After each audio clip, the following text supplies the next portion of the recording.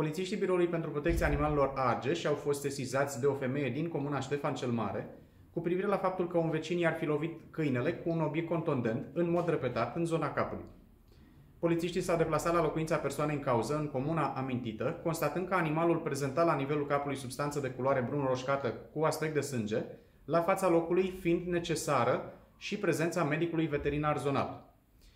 Cel bănuit, bărbat de 66 de ani din aceeași localitate, a fost condus la stadiul poliției pentru cercetări.